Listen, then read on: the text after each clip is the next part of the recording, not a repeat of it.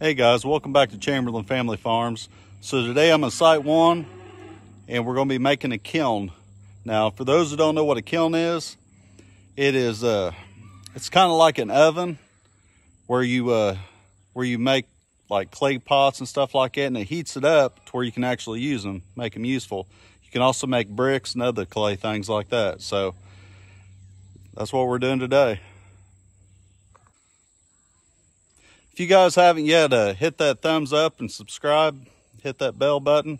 Please do so so you guys don't miss an episode.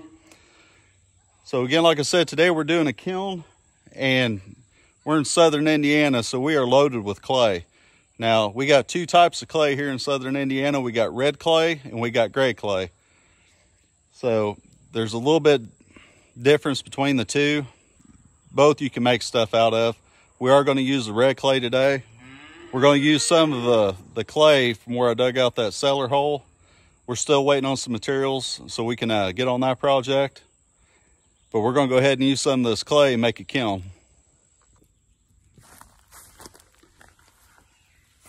All right. So you're going to need three things at least to start off. You're going to need clay. You're going to need water and you're gonna need a board. So, like I said, there's different ways you guys can do, make your own kiln. A lot of people make them out of bricks. We don't have any spare bricks at this time. So we may go ahead and uh, make some bricks to make a better kiln later, a more permanent one. So this board that we're gonna use, what we're gonna do is we're gonna make like a big O circle with clay, probably about an inch, inch and a half thick or more and then we're going to put some holes in it. And then we're just going to let it bake in the sun, let it completely dry out. And that there is going to be our center. So underneath of it, we'll put the fire, you know, your sticks and everything. And then it'll be kind of a dome where it comes up with clay. We'll build it up around it. And then we'll have, a, uh, we'll use the board again and we'll make a covering for the top of it. That way we could, of course, all the smoke and everything's gonna go up to the top, so we want a little bit of air being able to go through, but we wanna be able to control the temperature inside of it as well, so. So again, you're gonna need clay, board, water. All right, so we're gonna use four things. I'm using a shovel. You don't have to, you can be as primitive as you want, but I'm not about that if we got the resources, so.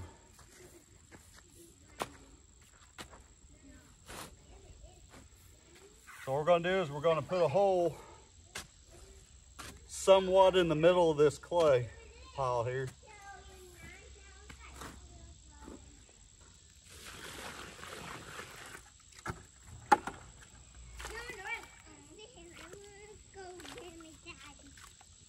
And what you want to do is you want to soften it up as much as you can. Now you may find roots, just throw them out. If you find any rocks, throw them out as well.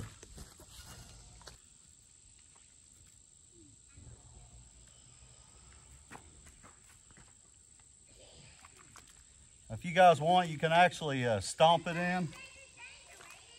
Might actually be easier to do that. Yeah, let's go ahead and do it.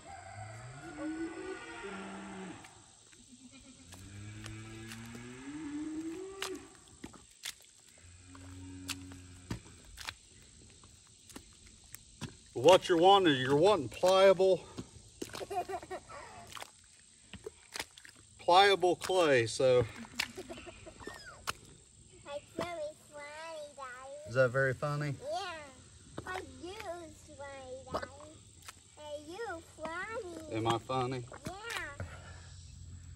So you can see we got some pretty close being done, so we'll go ahead and we'll scoop some of that out.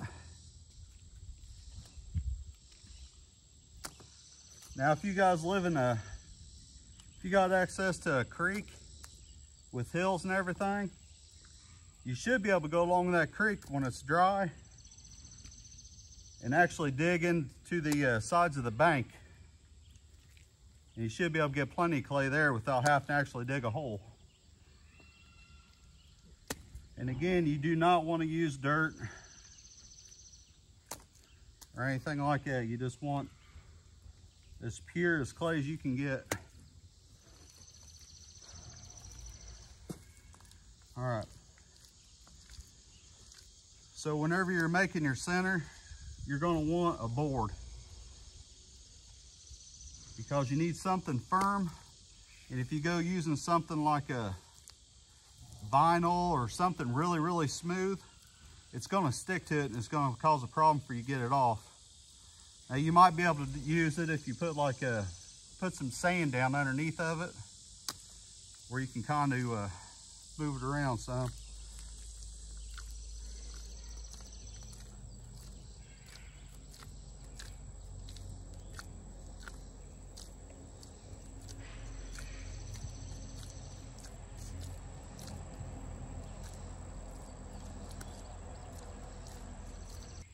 So I'm just gonna kind of go around and kind of somewhat smooth around the side some.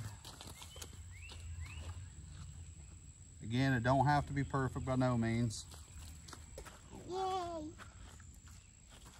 So all I'm doing now is I'm kind of going along. I'm probably gonna make it closer to two inches.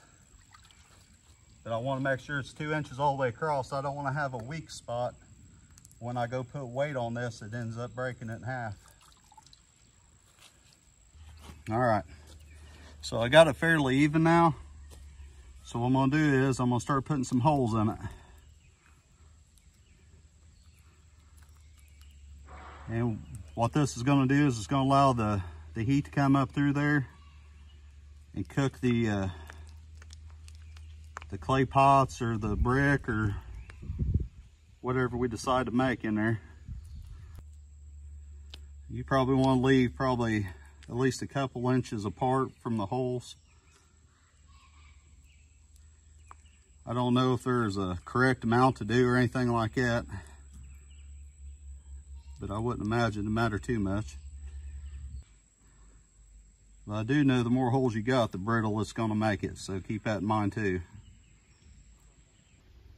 All right, so that's what she looks like right now. And we're just gonna let this set and bake in the sun and uh, completely dry out. All right, while this is drying, we're gonna go ahead, we're gonna mix some more clay with water, and we're gonna go ahead and start uh, forming our base. So again, this base at the beginning, this is where the fire is gonna be directly. Now we'll probably have the fire where it actually comes this way, but I've got this mound right here in the way right now. But the opening will probably be coming from this way. Because the garden's over here, we don't want no flame coming over there. And then whenever this dries, we'll pick this up and we'll set it right on top of it. Get a fire going, and then we'll just kind of keep going up. Then at that point, we'll go all the way around it.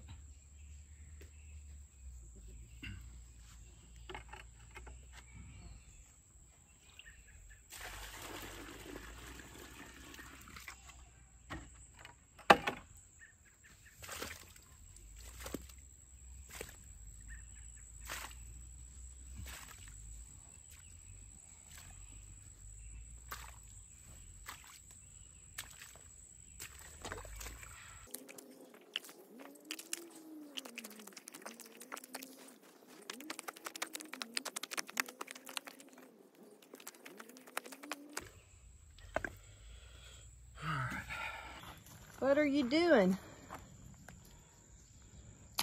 Well, like I said earlier, I'm making a kiln for pottery. About got the fire pit ready. It's like in a horseshoe. Once that dries enough, probably tomorrow or the next day, we'll put that up here. And then we'll continue on, except whenever we put that on, we'll go all the way around. And we'll go up to probably about here. Then I'll, I'll do something similar to that, except I'll cut it right in the middle, maybe with a hole right in the middle, and that'll be the top covers. But once we get this on, we can go ahead and start a fire and start getting this hard.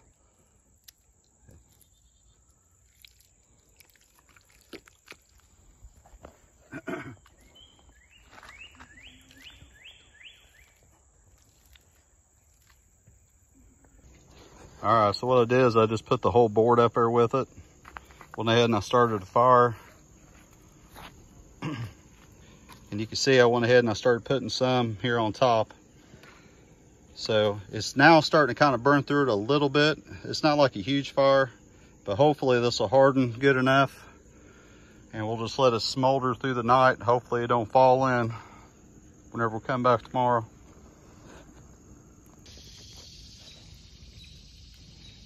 Right, so what we're doing is the bottom where it's all setting on the front, it's completely hardened and some around the front is hardened. So what we're doing now is we're gonna go ahead and we're gonna, because the fire's died down a little bit up here, but it's still really hot. We're gonna go ahead and build this arch up a little bit better. Go ahead and let it start uh, heating up. Then also been going along and uh, fixing these cracks from the moisture and the shrinking and and all that so. Hopefully later we can come back and hopefully get it up to about here anyway. And then we can worry about some kind of a cover or top for it. And then all we got to do is get it really hot and then we should be about ready to start doing pottery or bricks or whatever we want to do. Very cool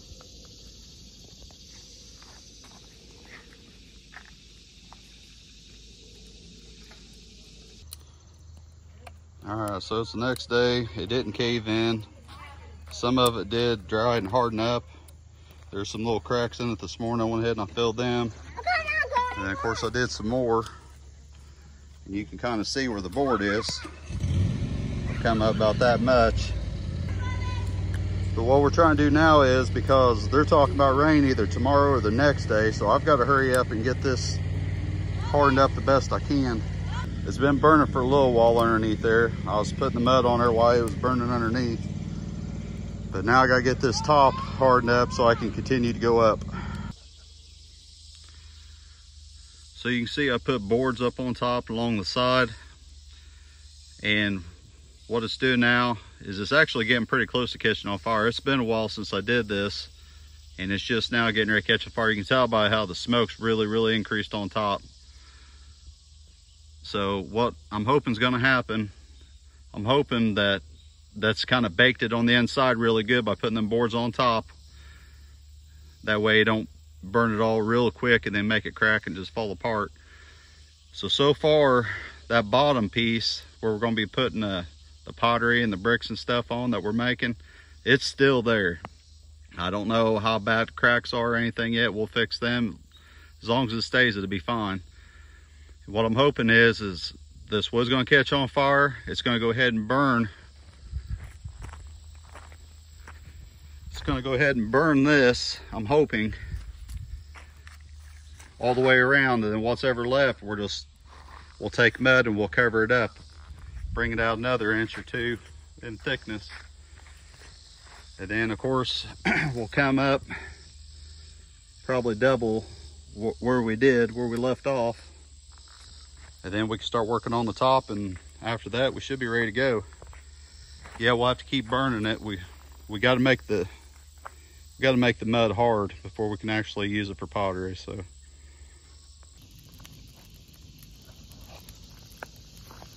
And we got flamage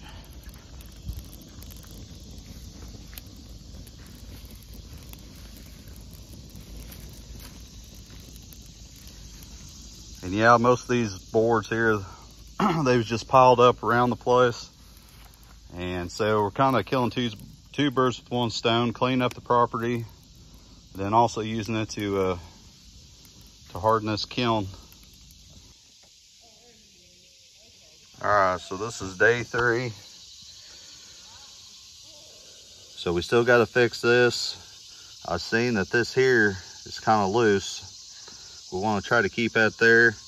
Went ahead and I cleaned out the holes so you can see where it's going to come up, but you can hear that. That's it's completely dried out. It's hardened. So, and then some of the sides, they're starting to kind of hard too in here. And this should be big enough for for some small pots and maybe a few brick that we can burn at a time. But first thing I gotta do is I gotta mix some more mud. We're gonna repair this. I'll try to get down and see if I need to go underneath and fix anything underneath here because you can't really see very well. And then also on the front, so whenever we're feeding this, we don't want to hit this with the bore because all that's going to do is it's going to break the bottom and it's going to fall back down. So we need to get some more of this and come straight over. So that way we don't hit that no more. And we can always dig this out down here below to make it deeper if we want to get some bigger logs and stuff in later on. So, and then of course we'll come back and uh, some of this is still wet as you can see. We'll go ahead and we'll fill this in, all these cracks with some more uh, clay. And then after we get that all done, we'll heat it back up again and, then we should be ready to go. Now, the last thing we'll do is we'll actually put a, a, uh, a clay top which what I'll probably do is grab that board there, set it on here and actually form it as a big square right on top of this. And then I'll just, I'll just burn it off. And then at some point in time, we're gonna have to build a fire on the outside so we can get this outside board that's sticking that was holding this, which the inside's already burned off. So I ain't worried about that, but I do want to get them sides. I don't want nobody tripping over it or hitting it and uh, potentially cracking or breaking it after it's finished. So that's what we're doing today.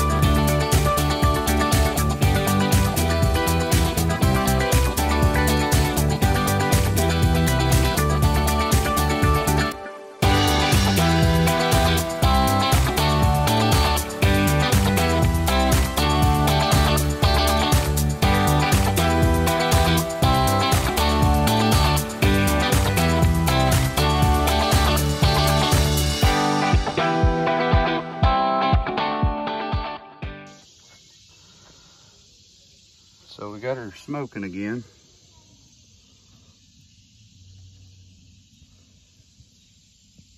And again, when it's wet like this and you get a fire, it's gonna crack a sign, but that's all right. Like I say, we can just keep putting mud on it and make it thicker and thicker. But I wanna get that hard so I can get the top made.